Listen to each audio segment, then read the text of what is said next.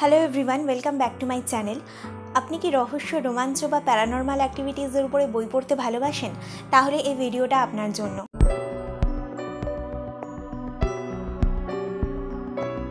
তো আজকে আমি যে বইটার কথা বলব, সেইটার নাম তো আপনারা থামনেল থেকে জেনেই গেছেন। বইটার নাম হচ্ছে ঈশ্বরের নষ্ট ভ্রূণ সৈকত মুখোপাধ্যায়ের লেখা। এটাকে একটা গল্প সংকলন বলা যায়, কারণ বইটাতে বারোখানা গল্প রয়েছে। এখানে কভারের উপরে ঈশ্বরের নষ্ট ভ্রূণের নিচে লেখা রয়েছে, গায়ে কাটা দেওয়া বারোটি কাহিনী। তার থেকেও বোঝা যাচ্ছে যে এটা একটা গল্প সংকলন। এই বইটায় যে বারোখানা গল্প রয়েছে, তার মধ্যে প্রথম যে গল্পটা, সেটার নামই হচ্ছে ঈশ্বরের নষ্ট ভ্রূণ আর সেইটার নামেই এই বইটার নামকরণ করা হয়েছে। পত্রভারতী থেকে বেরিয়েছে, দাম হচ্ছে দুশো পঁচিশ টাকা। বই সম্পর্কে বইয়ের পিছনে এইখানটায় লেখক যেটা বলেছেন সেটা একটু পড়ে শোনাই। বারোটা গল্প, না শুধু গল্প বললে কিছুই বলা হয় না, ভয়ঙ্কর নৃশংস গায়ে কাটা দেওয়া এক একটা উপাখ্যান, এক কথায় অন্ধকার বা অন্য দুনিয়ার গল্প। বাংলা কল্প গল্প জগতে এমন অসহ্য আতঙ্কের গল্প খুব কম লেখা হয়েছে। বইটায় বললামই যে বারোখানা গল্প রয়েছে, কি কি বারোটা গল্প রয়েছে সেটা একবার বলে দিই। প্রথম গল্প, ঈশ্বরের নষ্ট ভ্রূণ তারপর বাচ্চু মামার বাড়ি, ছাদের বাগান, গুহাচিত্র, জলকষ্ট, কলঙ্কভাগী, মরা ফুলের মধু, পাশা, সূর্যাস্তের ছবি, হাতকাটা মেয়ের হারমোনিয়াম তুলোবীজ আর নিভাজ ত্রিভুজ। তো এই বইটার গল্পগুলো সম্পর্কে যদি আমি বলি, তাহলে প্রথমেই যেটা বলতে হয় সেটা হলো, এই বইয়ের গল্পগুলো অবশ্যই রহস্য, রোমাঞ্চ এবং প্যারানর্মাল অ্যাক্টিভিটিজের উপরে লেখা। কিন্তু আমার মনে হয় এই বইতে যে গল্পের ঘটনাগুলো রয়েছে, সেগুলো তার থেকেও বেশি ভয়ঙ্কর এবং বিভৎস সমস্ত ঘটনার বর্ণনা। যেরকম আমরা কখনো কল্পনাও করতে পারব না যে এরকমও কোনো কিছু ঘটতে পারে। আমি সাধারণত এই ধরনের বই পড়া অ্যাভয়েড করি হরর ধরনের বই পড়া আমার খুব একটা পছন্দের নয়। কিন্তু তার সত্ত্বেও আমি এই বইটা কিনেছিলাম এবং পড়ে ফেলেছি। তার পিছনে একটাই কারণ, সেটা হচ্ছে এই বইটার প্রচুর পজিটিভ রিভিউ আমি পড়েছিলাম। প্রচুর মানুষজন বইটা পড়ে লিখেছিলেন যে এটা একটা মাস্ট রিড টাইপের বই। তো তারপরে আমি বইটা কিনেছি এবং পড়েছি। তো বইটার ডিটেলসে আরেকটু বলবার আগে একটা কথা বলে দিই যে এই বইটা সম্পূর্ণই বড়দের জন্য লেখা। এর গল্পগুলো এবং ঘটনাগুলো যেভাবে লেখা হয়েছে, সেটা ছোটদের জন্য নয়। বইটার গল্পগুলো সম্পর্কে আমি বিশেষ কিছু বলব না, তাহলে স্পয়লার দেওয়া হয়ে যাবে।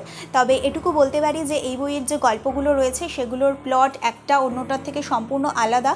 কিন্তু তার সত্ত্বেও ভয়ঙ্করতা এবং বিভৎসতার দিক থেকে প্রত্যেকটা গল্পই প্রত্যেকটা গল্পকে পাল্লা দিয়ে চলেছে। একটা গল্প পড়ে শেষ করবার পরে আপনি সাথে সাথে পরের গল্পটায় চলে যেতে পারবেন না। আপনাকে খানিক্ষণ অপেক্ষা করে সেই গল্পটা নিয়ে একটু ভাবতে হবে যে, এরকমও কোনো কিছু ঘটতে পারে বা এরকমও হয়। বা লেখক এই গল্পটার মাধ্যমে কি মেসেজ দিতে চেয়েছেন সেটাও আপনাকে একটুখানি ভাবতে হবে। তারপরে আপনি পরের গল্পটা পড়া শুরু করতে পারবেন। তবে একটা কথা বলতে পারি যে, বইটা যদি আপনি একবার পড়া শুরু করেন, তাহলে পুরো বইটা না পড়ে কিন্তু আপনি এই বইটাকে ছেড়ে দিতে পারবেন না। প্রচণ্ড ভয় করবে পড়তে পড়তে। বলে না শীত দ্বারা দিয়ে ভয়ের একটা ঠান্ডা স্রোত নেমে যাওয়া, সেরকমও ঘটতে পারে আপনার সাথে। কিন্তু তা সত্ত্বেও এই বইটা আপনাকে পুরোটা পড়ে শেষ করতেই হবে। বিভিন্ন ধরনের গল্প রয়েছে, যার মধ্যে প্রথম যে গল্পটা, ঈশ্বরের নষ্ট ভ্রূণ, সেখানে রয়েছে একটা মৃতদেহের মধ্যে পোস্টমর্টমের সময় একটা সোনার মূর্তি পুড়ে তারপর সেটাকে সেলাই করে সেই মূর্তিটাকে পাচার করা হয়। তারপরে বাচ্চু মামার বাড়ি যে গল্পটা, যেখানে বাড়িটার সামনে দাঁড়ালেই বোঝা যায় যে বাড়িটা যেন নিজেই ভিতর থেকে পচে যাচ্ছে। তারপরে সেই বাড়িটাকে নিয়ে বিভিন্ন ঘটনা ঘটতে থাকে। এছাড়া আরেকটা গল্প রয়েছে যে পোলারয়েড কর্পোরেশনের ফার্স্ট জেনারেশন একটা ইনস্ট্যান্ট ক্যামেরা সেইটা একজনের হাতে আসে কোনোভাবে এবং তারপরে সেই ক্যামেরাটাকে ঘিরে নানান ধরনের ঘটনা ঘটতে থাকে। ডার্ক ফ্যান্টাসির উপরে এই ধরনের বই বাংলা সাহিত্যে খুব একটা বেশি লেখা হয়েছে বলে আমার মনে হয় না। আপনি যদি বিদেশি সাহিত্য কিংবা বিদেশি সিনেমাগুলো দেখেন, তাহলে হয়তো এরকম বিভৎস প্লট পেলেও পেতে পারেন। কিন্তু বাংলায় এর সমতুল্য কোনো বইয়ের কথা অন্তত আমার জানা নেই। এমনকি আমার এটাও মনে হয় যে লেখক নিজেও যদি পরবর্তীকালে এই নির্দিষ্ট বিষয়ের উপরে আবার বই লিখতে যান এই থিমের উপরে, তাহলে তার নিজের সাথে নিজের একটা প্রতিযোগিতা হবে। এই বইয়ের গল্পের যে থিমগুলো রয়েছে সেগুলোকেই তার ছাপিয়ে যেতে হবে। বইটার ব্লার্বে লেখক নিজেই বলছেন যে বারোটা গল্প নিজেদের মধ্যে সারাক্ষণ লড়ে গেছে সেরার শিরোপা জিততে। হে পাঠক আপনি নম্বর দিন, আমরা মাথা পেতে নেব।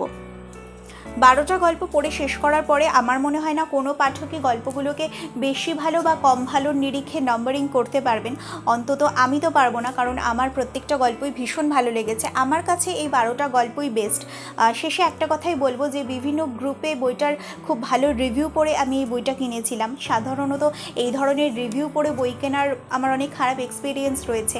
খুব ভালো ভালো রিভিউ পড়ে বই কিনে ফেলেছি এবং পড়ার সময় প্রচণ্ড পরিমাণে হতাশ হয়েছি।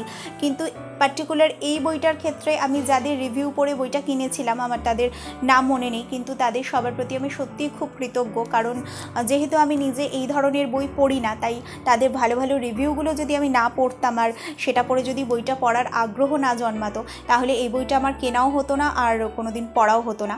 আর একটা কথা যে সৈকত মুখোপাধ্যায়ের লেখাও কিন্তু আমি প্রথমবার পড়লাম, এর আগে ওনার কোনো লেখা আমি পড়িনি। আর এই বইটা পড়বার পরে ওনার আরও লেখা পড়বার প্রতি আমার একটা আগ্রহ তৈরি হয়ে গেছে। একশো ষাট পাতার একটা বই হার্ড কভার ভিতরে বারোখানা গল্প রয়েছে এবং প্রত্যেকটা গল্পের সাথেই রয়েছে সাদা কালো ইলাস্ট্রেশন যেগুলো দেখতে বেশ ভালো লাগবে।